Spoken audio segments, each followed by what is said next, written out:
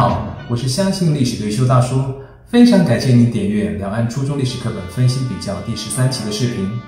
本期的视频，一休大叔将和您一起阅读我们中国近代史中一个很重要的章节——北伐战争。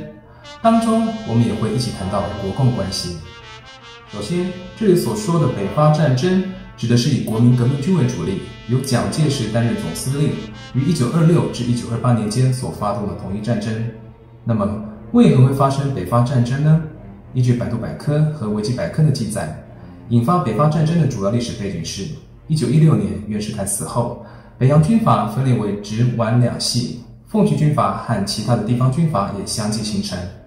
由于各派系的军阀之间为了争夺地盘，导致连年混战，民不聊生。因此，打倒北洋军阀，结束封建统治，已成为当时中国人民心目中普遍的愿望。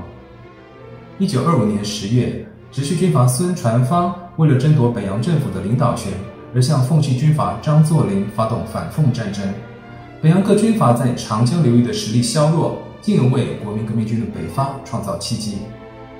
维基百科特别提到。为了统一全中国，孙中山先生也曾在1917至1924年间发动了三次讨伐北洋军阀的战争，也就是第一、第二次的护法运动，以及第二次直奉战争中的皖奉粤联军，只可惜都失败了。在孙先生的有生之年，他都没有亲眼看到我们中国的统一。接着，我们就来分析比较关于北伐战争在两岸的初中历史课本中有什么不同的诠释。首先，我们来看二零二一年的大陆初中历史课本，北伐战争是放在八年级上册第七十页至第七十四页。这个版本的重点有三个：第一，国共合作的实现。孙中山先生在经过多次与北洋军阀斗争的失败后，他深深感到必须改组国民党，为他注入新鲜的血液。在这样子的背景下，一九二三年六月，中国共产党召开第三次全国代表大会。决定与孙先生领导的国民党合作，共产党员以个人身份加入国民党，把国民党改组为工人、农民、小资产阶级和民族资产阶级的革命同盟。隔年一月，在孙先生的主持下，中国国民党第一次全国代表大会在广州召开，多位共产党员也参加了该次大会的领导和组织工作，标志着国共两党合作正式展开。随后，一九二四年五月。在苏联和中国共产党的协助下，孙先生在广州的黄埔创办了中国国民党陆军军官学校，也就是著名的黄埔军校，培养了大批军事和政治人才，也成为之后国民革命军的主力。第二，北伐胜利进军，为了打倒吴佩孚、孙传芳、张作霖等北洋军阀，统一全中国，一九二六年七月，蒋介石率领国民革命军正式实施北伐。北伐军从广东省出发后，首先向湖南、湖北迈进，先攻下长沙，再连克丁四桥和贺胜桥，把国民革命军的旗帜插上武昌城头，灭了吴佩孚的主力。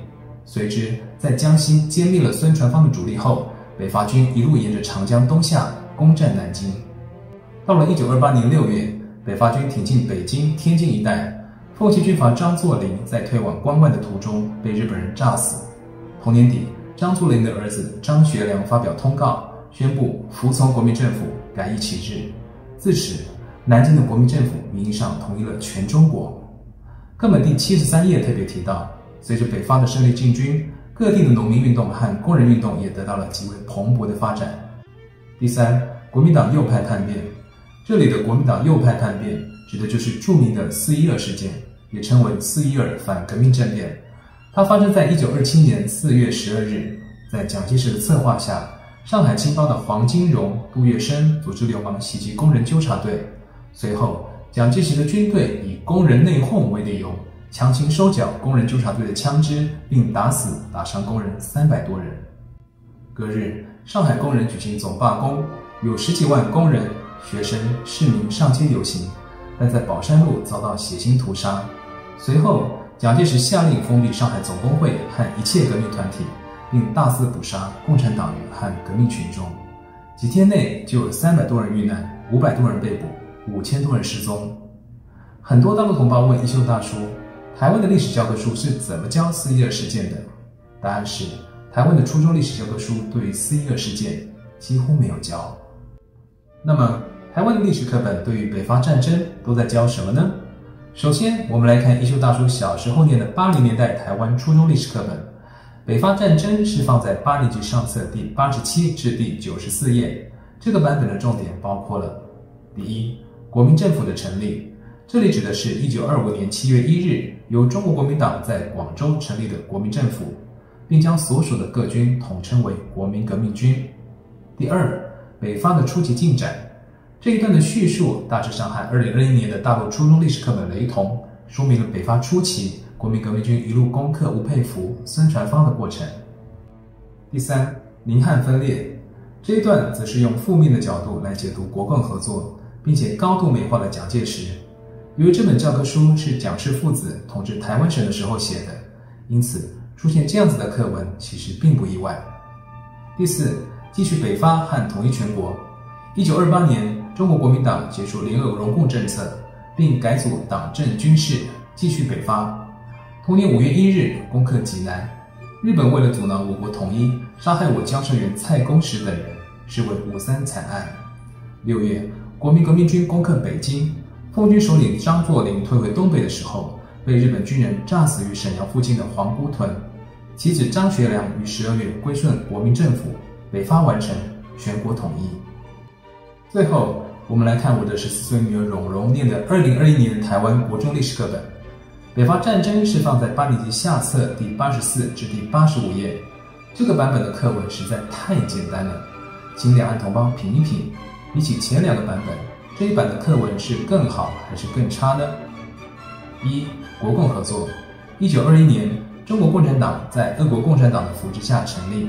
一九二三年，孙中山为了能与军阀抗衡。缺乏俄国革命成功的经验，主张联俄融共，同意共产党党员以个人身份加入中国国民党，又在苏联的协助下，于广州黄埔成立陆军军官学校，由蒋中正出任校长。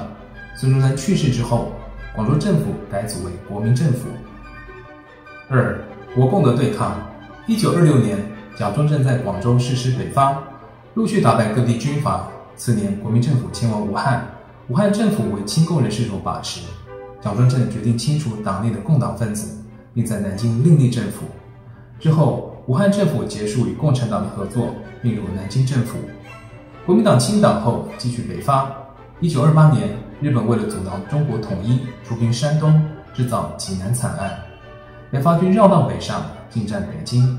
东北军阀张学良宣布归顺南京国民政府，至此归于统一。